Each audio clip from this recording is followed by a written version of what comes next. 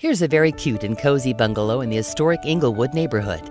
This home has been updated throughout with fresh paint, newer flooring, and much more. The finished basement offers an extra bedroom and flex space, which is ideal for any family.